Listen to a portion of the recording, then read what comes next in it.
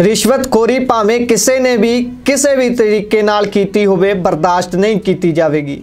ਇਹ ਕਹਿਣਾ ਹੈ, ਸੀਐਮ ਭਗਵੰਤ ਮਾਨ ਦਾ। ਉਹਨਾਂ ਦੇ ਵੱਲੋਂ ਬੀਤੇ ਕੱਲ ਟਵੀਟ ਕੀਤਾ ਜਾਂਦਾ ਹੈ, ਜਿਸ ਦੇ ਵਿੱਚ ਉਹ ਲਿਖਦੇ ਨੇ ਕਿ ਰਿਸ਼ਵਤਖੋਰੀ ਕਿਸੇ ਵੱਲੋਂ ਵੀ ਕਿਸੇ ਵੀ ਤਰੀਕੇ ਨਾਲ ਕੀਤੀ ਗਈ ਹੋਵੇ, ਬਰਦਾਸ਼ਤ ਨਹੀਂ ਕੀਤੀ ਜਾਵੇਗੀ। ਇਸੇ ਤੋਂ ਨਾਲ ਜੁੜਦੀ ਹੋਈ ਖਬਰ, ਅਮਿਤ ਰਤਨ ਜਿਹੜੇ ਕਿ ਬਠਿੰਡਾ ਦਿਹਾਤੀ ਤੋਂ ਐਮਐਲਏ ਨੇ, ਉਹਨਾਂ ਦੀ ਗ੍ਰਿਫਤਾਰੀ ਵਿਜੀਲੈਂਸ ਦੇ ਵੱਲੋਂ ਕਰ ਲਈ ਜਾਂਦੀ ਹੈ। ਰਾਜਪੁਰਾ ਦੇ ਨਜ਼ਦੀਕ ਤੋਂ ਉਹਨਾਂ ਨੂੰ ਗ੍ਰਿਫਤਾਰ ਕੀਤਾ ਜਾਂਦਾ ਹੈ। ਮਾਮਲਾ ਬੀਤੇ ਦਿਨੀ 4 ਲੱਖ ਰੁਪਏ ਦੀ ਰਿਸ਼ਵਤ ਲੈਣ ਦਾ ਜੁੜਿਆ ਹੋਇਆ ਦੱਸਿਆ ਜਾ ਰਿਹਾ ਹੈ, ਕਿਉਂਕਿ ਬੀਤੇ ਦਿਨੀ ਵਿਜੀਲੈਂਸ ਦੇ ਵੱਲੋਂ ਅਮਿਤ ਰਤਨ ਦੇ ਪ੍ਰਾਈਵੇਟ ਪੀਏ ਨੂੰ ਗ੍ਰਿਫਤਾਰ ਕਰ ਲਿਆ ਜਾਂਦਾ ਹੈ। ਰਿਸ਼ਮ ਗਰਗ ਨੂੰ ਉਸ ਸਮੇਂ ਗ੍ਰਿਫਤਾਰ ਕਰ ਲਿਆ ਜਾਂਦਾ ਹੈ, ਜਦੋਂ ਸਰਕਟ ਹਾਊਸ ਦੇ ਵਿੱਚ ਬੈਠ ਕੇ ਨਾਲ ਹੀ ਐਮਐਲਏ ਅਮਿਤ ਰਤਨ ਹੁੰਦੇ ਨੇ ਅਤੇ 4 ਲੱਖ ਰੁਪਏ ਦੀ ਰਿਸ਼ਵਤ ਪਿੰਡ ਕੁੱਦਾ ਦੇ ਸਰਪੰਚ ਦੇ ਪਤੀ ਦੇ ਕੋਲੋਂ ਲੈ ਜਾਂਦੇ ਨੇ। ਪ੍ਰਿਤਪਾਲ ਕੁਮਾਰ ਦੇ ਕੋਲੋਂ ਲੈ ਜਾਂਦੇ ਨੇ, ਜਿਨ੍ਹਾਂ ਦੇ ਵੱਲੋਂ ਵਿਜੀਲੈਂਸ ਨੂੰ ਇਹ ਸਾਰੀ ਜਾਣਕਾਰੀ ਦਿੱਤੀ ਗਈ ਸੀ ਤੇ ਵਿਜੀਲੈਂਸ ਮੌਕੇ ਤੇ ਪਹੁੰਚ ਕੇ ਛਾਣਬੀਣ ਕਰਦੀ ਹੈ ਤੇ 4 ਲੱਖ ਰੁਪਇਆ ਬਰਾਮਦ ਕੀਤਾ ਜਾਂਦਾ ਹੈ, ਜਿਸ ਤੋਂ ਬਾਅਦ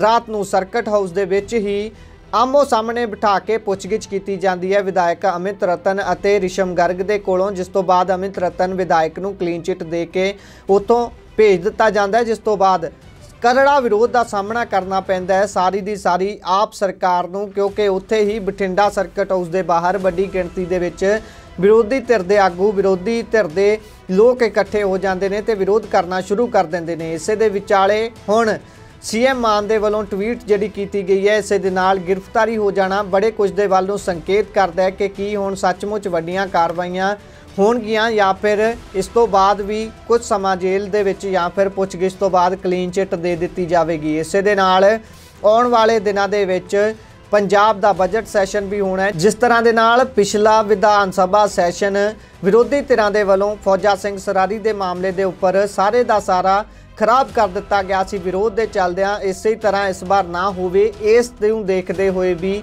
ਮੰਨਿਆ ਜਾ ਰਿਹਾ ਹੈ ਕਿ ਇਸ ਵਾਰ ਪਹਿਲਾਂ ਹੀ ਕਾਰਵਾਈ ਆਮ ਆਦਮੀ ਪਾਰਟੀ ਦੇ ਵੱਲੋਂ ਸੀਐਮ ਮਾਨ ਦੇ ਵੱਲੋਂ ਕਰ ਦਿੱਤੀ ਗਈ ਹੈ ਤੇ ਆਪਣੇ ਹੀ ਵਿਧਾਇਕ ਨੂੰ ਗ੍ਰਿਫਤਾਰ ਕਰ ਲਿਆ ਗਿਆ ਹੈ, ਜਿਸ ਦੇ ਉੱਪਰ ਇਲਜ਼ਾਮ 4 ਲੱਖ ਰੁਪਏ ਦੀ ਰਿਸ਼ਵਤ ਲੈਣ ਦੇ ਲੱਗਦੇ ਨੇ। ਹਾਲਾਂਕਿ ਇਹ ਰਿਸ਼ਵਤ 5 ਲੱਖ ਦੀ ਦੱਸੀ ਜਾਂਦੀ ਹੈ ਕਿ 1 ਲੱਖ ਰੁਪਈਆ ਪਹਿਲਾਂ ਹੀ ਦੇ ਦਿੱਤਾ ਗਿਆ ਸੀ ਆਪਣੀ ਗ੍ਰਾਂਟ ਪਾਸ ਕਰਾਉਣ ਦੇ ਲਈ ਤੇ 4 ਲੱਖ ਰੁਪਈਆ ਉਸ ਦਿਨ ਦਿੱਤਾ ਜਾ ਰਿਹਾ ਸੀ, ਜਿਸ ਦਿਨ ਵਿਜੀਲੈਂਸ ਆ ਕੇ ਮੌਕੇ ਤੇ ਹੀ ਸਾਰਾ ਕੁਝ ਨਸ਼ਰ ਕਰ ਦਿੰਦੀ ਹੈ ਤੇ ਗ੍ਰਿਫਤਾਰੀ ਰਿਸ਼ਮ ਗਰਗ ਦੀ ਹੋ ਜਾਂਦੀ ਹੈ ਤੇ ਉਸ ਤੋਂ ਬਾਅਦ ਹੁਣ ਗ੍ਰਿਫਤਾਰੀ ਅਮਿਤ ਰਤਨ ਵਿਧਾਇਕ ਬਠਿੰਡਾ ਦਿਹਾਤੀ ਦੀ ਵੀ ਹੋ ਚੁੱਕੀ ਹੈ। ਇਸੇ ਦੇ ਨਾਲ ਸੀਐਮ ਮਾਨ ਦਾ ਟਵੀਟ ਕਈ ਕੁਝ ਬਿਆਨ ਕਰਦਾ ਹੈ ਕਿ ਹੁਣ ਹੋਰ ਵਿਧਾਇਕ ਜਾਂ ਫਿਰ ਪੀਏ ਜਿਹੜੇ ਵੀ ਰੱਖੇ ਹੋਏ ਨੇ, ਉਹਨਾਂ ਦੇ ਉੱਪਰ ਸਖਤ ਕਾਰਵਾਈ ਹੋਵੇਗੀ, ਕਿਉਂਕਿ ਬੀਤੇ ਸਮੇਂ ਦੇ ਦੌਰਾਨ ਜਦੋਂ ਤੋਂ ਇਹ ਪੀਏ ਵਾਲਾ ਮਾਮਲਾ ਸਾਹਮਣੇ ਆਇਆ ਹੈ, ਹਰ ਕਿਸੇ ਦਾ ਇਹੀ ਕਹਿਣਾ ਹੈ ਕਿ ਹਰ ਕਿਸੇ ਨੂੰ ਪੀਏ ਦੀ ਜਾਣਕਾਰੀ ਵੀ ਜਨਤਕ ਕਰਨੀ ਚਾਹੀਦੀ ਹੈ ਤੇ ਆਪਣੇ ਨਿੱਜੀ ਪੀਏ ਰੱਖਣੇ ਵੀ ਕਿਸੇ ਨੂੰ ਨਹੀਂ ਚਾਹੀਦੇ। ਹਾਲਾਂਕਿ ਇਹ ਸਾਰੀਆਂ ਗੱਲਾਂ ਦੇ ਉੱਪਰ ਕਿਸੇ ਤਰ੍ਹਾਂ ਦਾ ਸਖਤ ਕਾਨੂੰਨ ਨਹੀਂ ਹੈ, ਪਰ ਫਿਰ ਵੀ ਨਿੱਜੀ ਪੀਏ ਦੇ ਮਾਮਲੇ ਦੇ ਵਿੱਚ ਬੀਤੇ ਦਿਨੀ ਇੱਕ ਵੱਡੇ ਅਖਬਾਰ ਦੇ ਪੰਨੇ ਦੇ ਉੱਪਰ ਖਬਰ ਲੱਗੀ ਸੀ, ਜਿਸ ਦੇ ਵਿੱਚ ਇਹ ਦੱਸਿਆ ਗਿਆ ਸੀ ਕਿ ਪੰਜਾਬ ਦੇ ਵਿੱਚ ਮੌਜੂਦਾ ਸਮੇਂ ਦੇ ਦੌਰਾਨ ਕਿਹੜੇ-ਕਿਹੜੇ ਵਿਧਾਇਕ ਦੇ ਆਪਣੇ ਹੀ ਕਰੀਬੀ ਨੂੰ ਉਸਨੇ ਪੀਏ ਲਗਾਇਆ ਹੋਇਆ ਹੈ। ਇਸੇ ਦੇ ਵਿੱਚ ਹੁਣ ਪੀਏ ਦੀ ਜਾਣਕਾਰੀ ਨੂੰ ਲੈ ਕੇ ਵੀ ਕਈ ਖੁਲਾਸੇ ਹੋ ਸਕਦੇ ਨੇ ਵੱਖ-ਵੱਖ ਐਮਐਲਏਸ ਦੇ ਨਾਲ। ਸੋ ਇਸ ਟਵੀਟ ਨੂੰ ਤੁਸੀਂ ਕਿਵੇਂ ਵੇਖਦੇ ਹੋ? ਇਸ ਦਾ ਕਮੈਂਟ ਬਾਕਸ ਦੇ ਵਿੱਚ ਜ਼ਿਕਰ ਜ਼ਰੂਰ ਕਰਨਾ। ਜੁੜੇ ਰਹੋ ਦਾ ਟੀਵੀ ਐਨਆਰਆਈ ਦੇ ਨਾਲ। ਬਹੁਤ-ਬਹੁਤ ਧੰਨਵਾਦ।